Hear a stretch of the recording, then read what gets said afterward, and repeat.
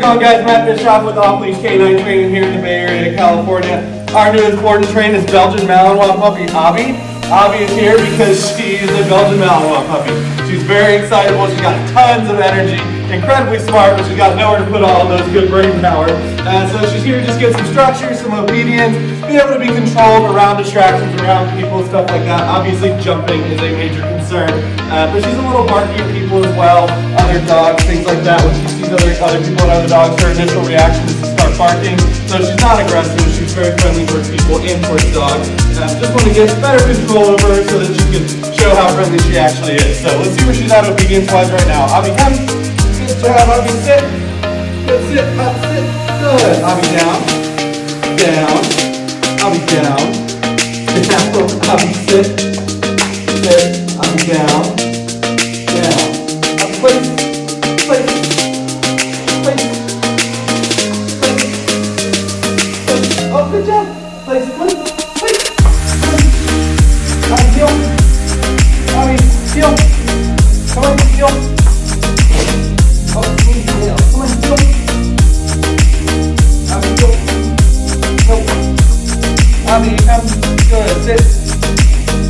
Good job. Ah, just got this good job. Heel, you just gotta follow me around. I'm not in a kind of tight heel, we need to work on that. No place, no down. Um, so this needs a basic session. As very mouthy. We want to get that under control. But yeah, she's gonna be great. Check back with us.